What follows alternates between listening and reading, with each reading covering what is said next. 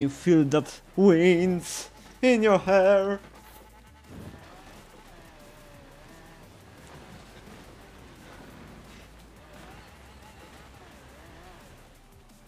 Okay, I just uh, I just cut the half of the forest with my car